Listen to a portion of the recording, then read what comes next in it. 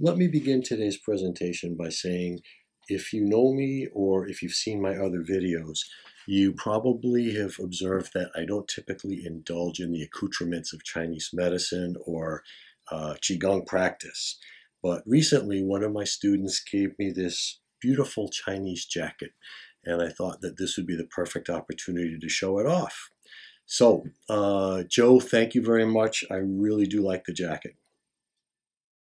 Taiji ruler and circling hands are two names for what are essentially the same Qigong practice, so I'll be using those names interchangeably throughout this video. It makes use of the circular movements found in the Taiji form, and conversely, in a mutually supportive way, the circular movements and the Neigong and Qigong components found in circling hands can be layered back into Taiji promoting greater circularity, increased qi flows, and more internal power within the Taiji form. Circles are made in all different planes as one advances in this practice. Those include vertical, horizontal, diagonal, and coronal circles in order to address all the possible directions used in Taiji and to provide the broadest range of applications. Now here we're going to only focus on one circle, the forward moving vertical circle. As simple as that may seem at first, you'll see that it's actually a very rich, detailed, and multi-layered practice with far-reaching health and longevity benefits. It contains numerous components that can be difficult to see clearly when Taiji rulers demonstrated in full. So I'm going to introduce some of those components one at a time before eventually combining them into the full practice for you. There are more parts to circling hands than can be shown in a short video, but what follows is a more or less typical progression of training, the way you might learn these things in a class, making it easier for you to observe and understand all it contains. First, you'll see how to link your hands energetically on your side channels. This will increase your sensitivity to qi and lay the foundation for you to be able to project and absorb qi from your hands later on in your practice.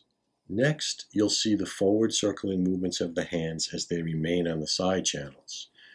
By itself, this can release tension from the nervous system, reduce stress, promote a sense of calm well-being, and create a smooth, continuous flow of qi within this practice. Next, you'll see how to do a basic qua squat. This Neigong component will increase your awareness of internal energy mechanics, will greatly amplify qi flows through your side channels, will improve your immune system functioning by massaging the inguinal lymph glands, and will uh, improve and promote urogenital health. Now, the qua squat opening and closing serves as a good introduction for openings and closings throughout your entire body, which is a prerequisite for all longevity Qigongs. And even in Taiji, there's a saying, without openings and closings, there is no Taiji. So this is an important one to get. Next, the spinal C curve is introduced. This increases space between all the vertebrae and lengthens the spine, uh, which reduces back pain, improves nerve conduction throughout the entire nervous system, and it also facilitates the rising and falling of qi throughout the microcosmic orbit.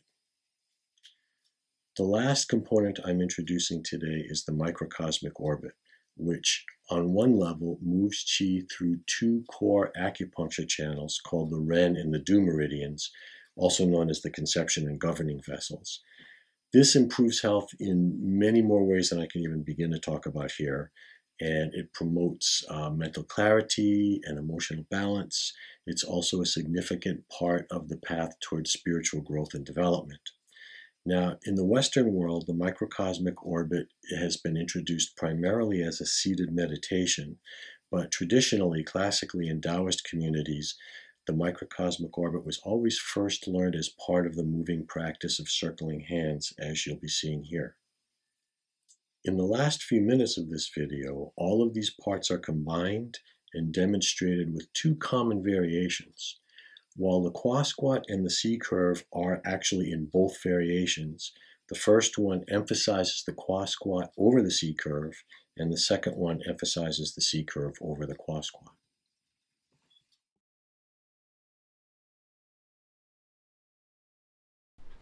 Taiji ruler gets its name from the common practice of using a physical ruler to connect your hands at the optimal distance apart, directly on the side channels, two core energy pathways that run through your torso, legs, arms, and head.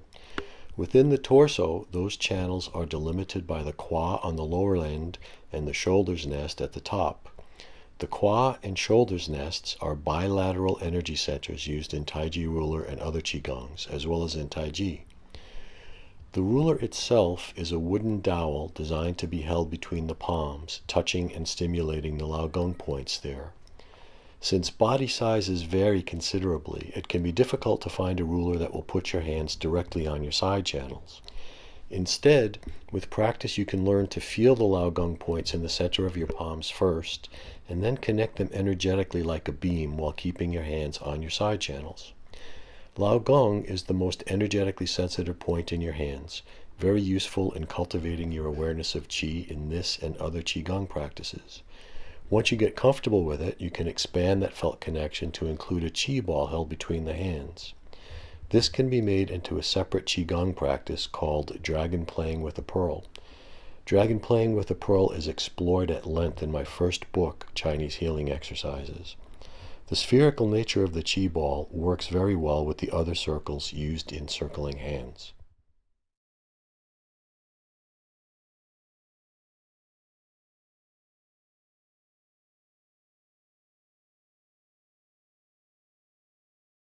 With your hands remaining on your side channels, you next want to move them in a forward vertical circle.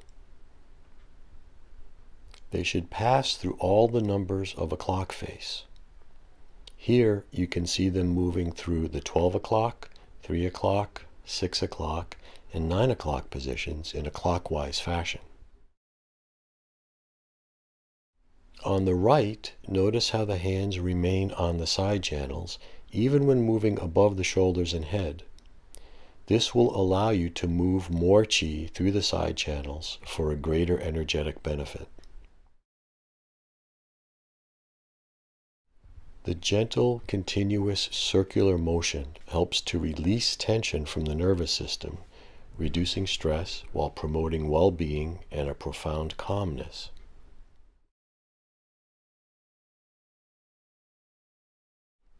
I've known some teachers to only include this much training in an introductory Taiji ruler class since it's so beneficial all by itself.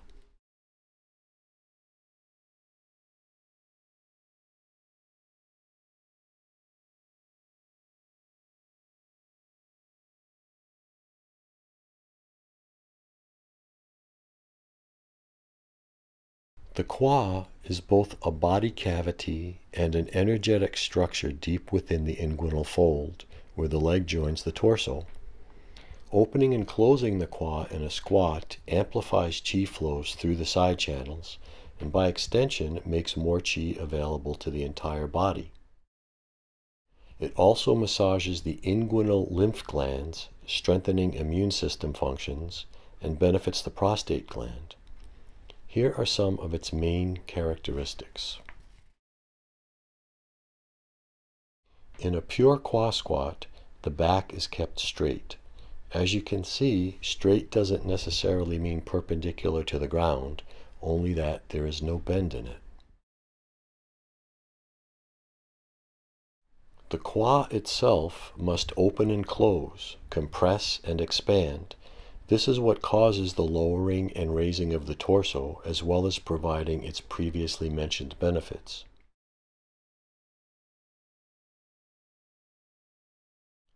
The knees remain centered over the feet and do not move forward on the squat nor rearward on the rise. This qua squat is one important Neigong component used in many Qigongs and in Taiji.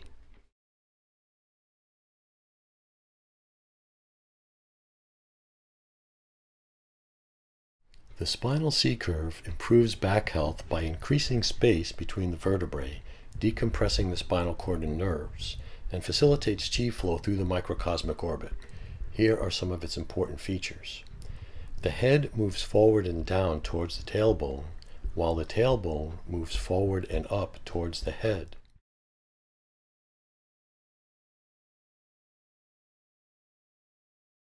Simultaneously, the mid-back moves rearward on the bend, creating an obvious bowing of the spine.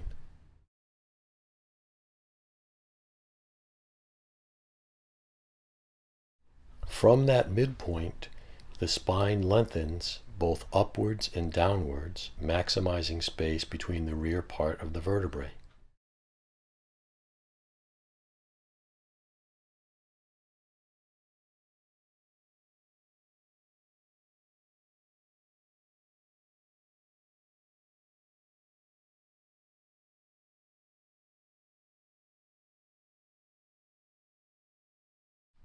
Rising up from the curve, the front of the spine also lengthens up and down from the midpoint.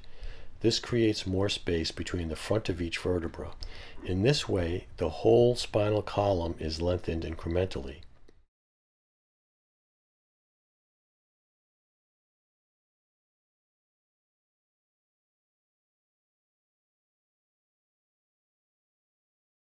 The spinal C-curve replicates the fetal state of the spine. A part of Taoist thought includes the concept that to increase healthy longevity, a person must reclaim the attributes of the body in its most youthful state. This is also a consideration in reverse breathing, also called prenatal breathing, since the fetus draws all nourishment, including oxygen and qi, through the umbilicus, a process facilitated by the spinal C-curve. While reverse breathing is beyond the scope of this presentation, it is the preferred breathing style when practicing circling hands with the spinal C-curve.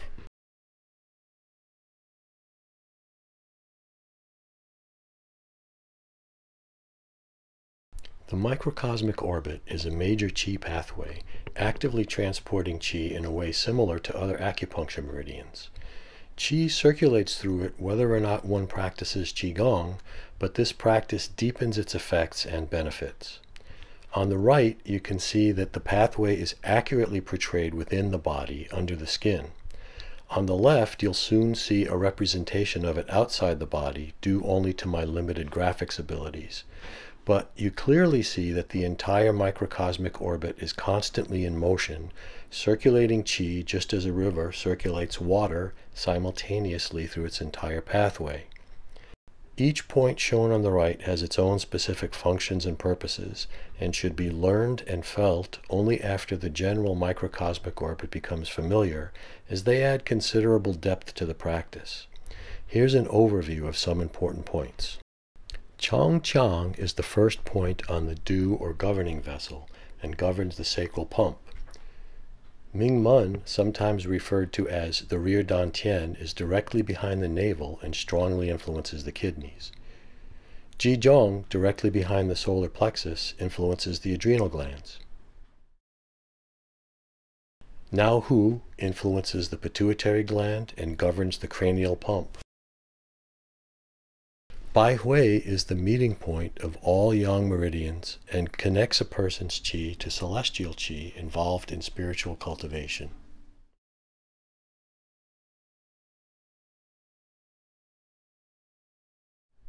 Yin Tong influences the pineal gland and can be used to cultivate psychic awareness. Tian Tu influences the thyroid gland and governs self-expression. Tanzhong influences the thymus gland and governs the qi of the entire body.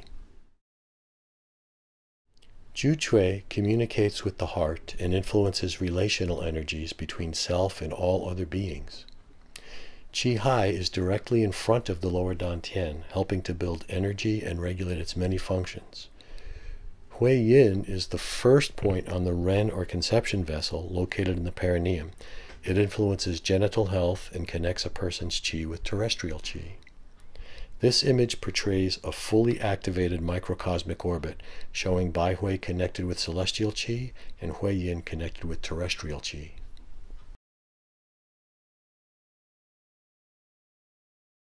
This is the first of the two most common ways Taiji Ruler is practiced, where the Kwa squat is emphasized over the spinal C curve. Taiji players may prefer this version since opening and closing the kwa is an important feature in Taiji and powers its many circular movements. Notice that there is a slight C curve. The spine is not held completely straight as it would be when practicing qua squats by themselves. All other aspects of Taiji Ruler are in play, with hands remaining energetically connected on the side channels, forming forward-moving vertical circles with microcosmic orbit circulation. This version is well suited for people relatively new to qua squats, since the larger physical movement of the squat helps to close and open the qua. Pulsing the qua is an important Neigong component, strongly pumping qi through the side channels making more chi available for all aspects of this practice. This is a useful variation for people who may have back problems and are unable to perform the spinal C curve to its fullest extent. Notice that there is a subtle weight shift here. The weight shifts forward while the hands are circling from the 6 o'clock to 12 o'clock positions, stimulating Yong Chuen, the bubbling well point near the ball of the foot. This causes chi to rise, facilitating chi rising up the back in the microcosmic orbit. Weight shifts rearward to the heels as the hands circle down from the 12 o'clock to 6 o'clock position, stimulating the Shimian heel point. This causes qi to drop, facilitating qi dropping down the front of the body in that portion of the microcosmic orbit.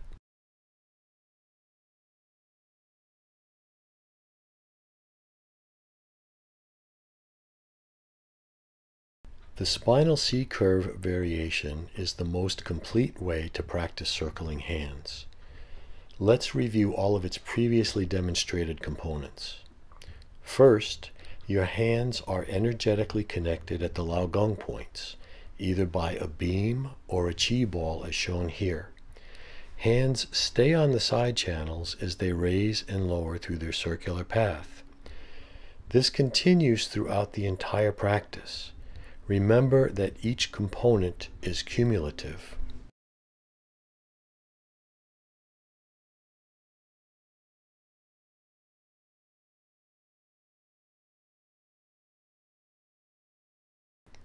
Next, keep your hand movements completely circular, moving through all the numbers on a clock face.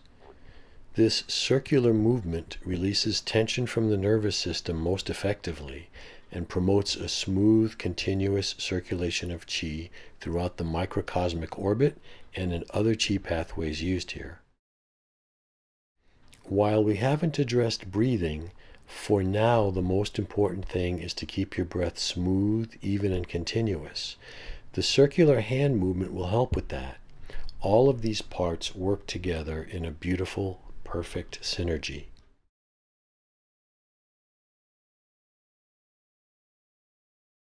The C curve includes the head and tailbone moving towards each other, the mid-spine moving rearward, and the spine lengthening upwards and downwards while bending.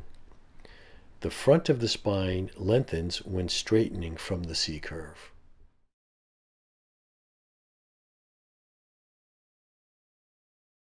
There is an opening and closing of the qua here too.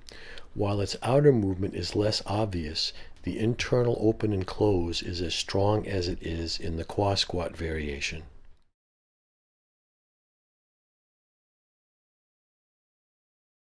The microcosmic orbit is an important feature of circling hands. The C curve and forward weight shift greatly facilitate the rising of the chi up the back, while lengthening the front of the spine with a rearward weight shift aids in lowering the chi down the front of the body. The individual points along that pathway can be added once the microcosmic orbit is circulating clearly and effortlessly. Let's introduce one last component, projecting qi from the hands and then drawing it back in. We've seen that Bai Hui connects the body to celestial qi and Hui Yin connects the body to terrestrial qi. Here we'll be interfacing with the qi of the immediate environment through the hands. In this representation, qi is accurately shown to move out through the yang meridians of the outer arm. Harder to clearly portray, qi is drawn in through the yin meridians of the inner arm.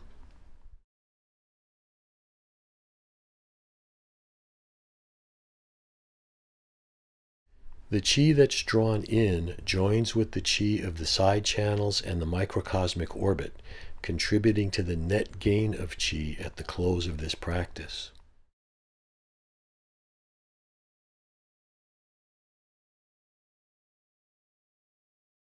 To end, environmental qi is drawn directly to the dantian, while the qi circulating through the microcosmic orbit is simultaneously dropped to the dantian. All qi felt throughout the body is then gently guided to the dantian, where it stills and settles for storage.